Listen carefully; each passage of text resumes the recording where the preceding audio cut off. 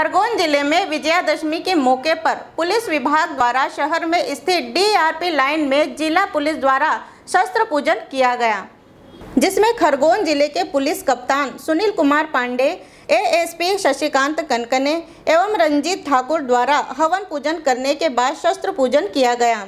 इस मौके पर पुलिस अधीक्षक और अतिरिक्त पुलिस अधीक्षक ने शस्त्रों का पूजन कर हवाई फायरिंग की और सभी ने दशहरे की एक दूसरे को बधाइयाँ दी। खरगोन से अजय तिवारी की रिपोर्ट। ओम देहि सौभाग्यम नमो नमः। आधारशक्तये नमः। नमः। स्वाहा। स्वाहा। स्वाहा।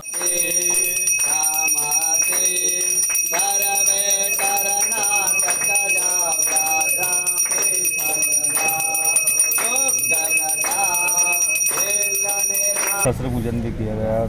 देखिए, क्या है, परंपरा है पुलिस विभाग की हमेशा दशहरे के दिन हम शस्त्र पूजा करते हैं। एक तरीके से देवी माँ शक्ति की प्रतीक होती हैं उनका आह्वान करते हैं और शस्त्र भी शक्ति का प्रतीक है, एक सकारात्मक शक्ति।